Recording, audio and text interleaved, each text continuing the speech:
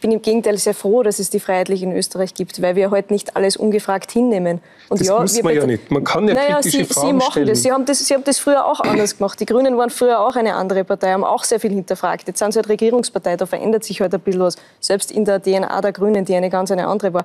Aber ich bin froh, dass es uns Freiheitliche gibt. Ja, wir hinterfragen halt vieles. Ja, wir nehmen nicht alles als gegeben hin. Aber wenn wir jetzt alle auf einer Linie sind und alle nur mehr eine Meinung vertreten, ja, dann brauchen wir keine demokratische Pluralität mehr und dann können wir uns ja auch selbst abschaffen Würden als Partei. Sie als Regierungspartei jetzt anders sprechen?